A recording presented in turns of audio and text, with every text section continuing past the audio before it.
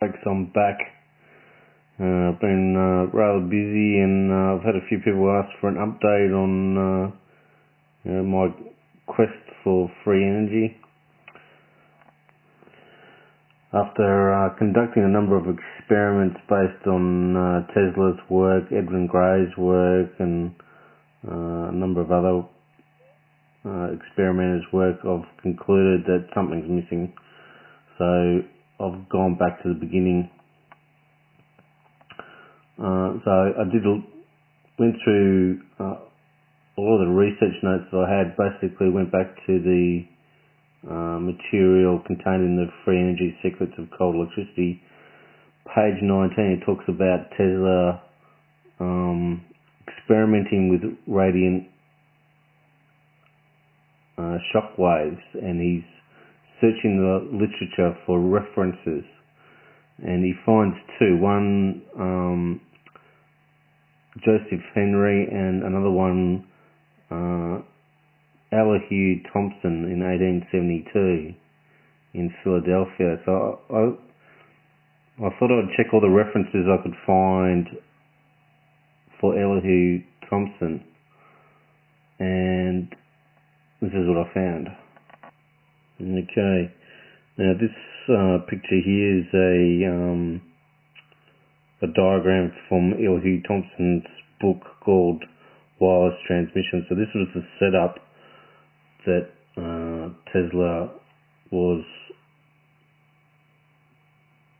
researching into. Now, basically, for those who don't know um, the story, basically goes something like um, like this, attaching one pole of the coil to a cold water pipe and reactivating the coil, Thomson was thrilled to find that the nature of the spark had changed from blue to white.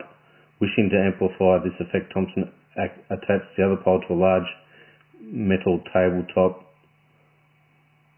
and this produced a shrieking silver white spark entirely visible to anyone who sat in the last row.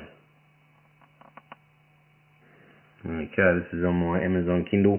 Um, in this article here, on a new connection for the induction coil by Professor Edwin J. Houston, it's mentioned that the um, the spark of the induction coil is greatly diminishing its length.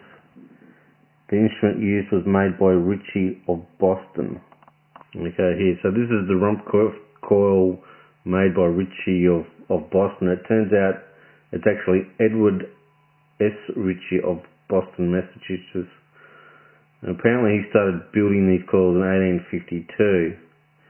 Uh, now what I've found is um, he actually um, constructs the coils with flat, oh, the secondaries with uh, flat spirals, just like Tesla did. So, anyway, I did some digging it says here, um, Mr. Ritchie, uh, 1857, he describes a coil with a peculiar mode of winding the wires of the secondary by which he obtained six-inch sparks. Um, Mr. Ritchie's coil was indeed made of sections, but there were as many as spires of wire in the whole length of the instrument, and each of these was wound up, not in the usual way, but as a flat spiral. Okay, so here we have evidence that Tesla's work appears to have come from um, Edward Ritchie. Uh, so from what I can make out, that the particular coil, uh, Ruhmkorff coil that was being used by Elihu Thomson was um, indeed a flat spiral secondary in two sections. Okay, after realizing um, that the, the coil that Elihu Thomson was working with was made of flat spirals, it occurred to me, um, it reminded me of something in Tesla's lecture of 1892, experiments with alternate currents of high potential and high frequency. Okay, in this lecture here, Tesla's uh, showing us a zinc box, well, he actually calls it the disruptive discharge coil. The zinc, um, it's hardwood lined with uh, zinc on the outside and on the bottom, and the secondary, the primary and secondary is actually split into two sections. Now, it doesn't specifically state in the lecture notes that it's made of a flat spiral, but I'm going to assume that it is. So the primer is actually uh, in two sections, wound equally and oppositely, and the same with the secondary. Okay, so and it's um, the coil's immersed in oil as well. So, and he and he shows us a circuit to use um, just using an ordinary coil to charge cap, goes through the disruptive discharge coil through a magnetically quenched uh, gap to uh, run the circuit. But what's not shown here is um, the secondary connected to um, either a sphere and a ground connection, which is, so I'm planning on building the disruptive discharge coil uh, connected to a sphere and a ground connection. So actually even the ground connection could also be a sphere as well. Now the the other thing that occurred to me after looking at this zinc box was um, the zinc on the outside. Now Tesla doesn't really explain how it works or what it's for really or anything.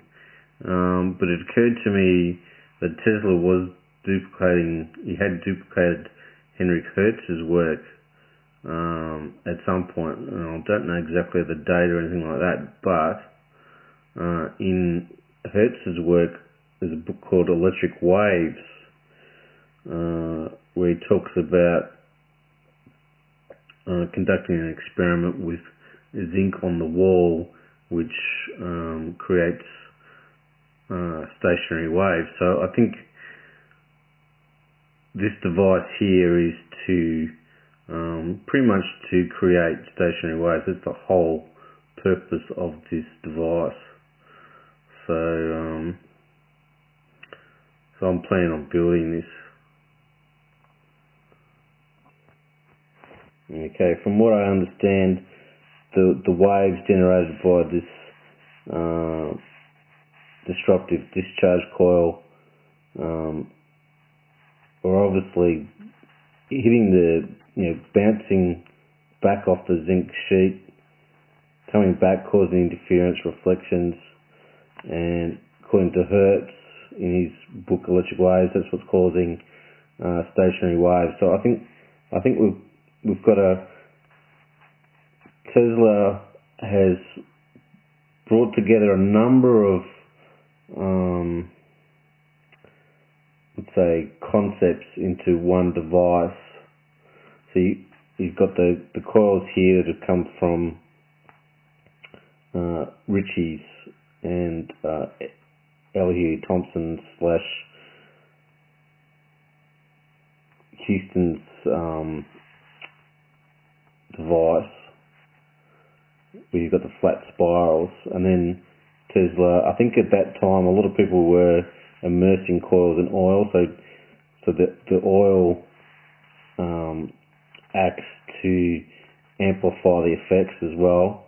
And then I think he's in um, the the zinc sheet. From what I understand, that wasn't in Elihu Thomson slash Houston's device. Uh, that's come from Henrik Hertz. So he's he's I guess he's put three different concepts together into and bringing it all together and coming up with a an amazing device. So, uh, so I'm planning to build this uh, disruptive discharge coil, see what it does. i I'm not aware of anyone actually doing it. I think there was one gentleman who's actually built the the coil, but not with the box, with the zinc and all the other stuff. So Um, so yeah, I believe, I believe um, Edwin Gray was probably using stationary waves in his circuit as well in his in his in his first patent. Uh, but that remains to be proved. Um, so yeah, that's it for that.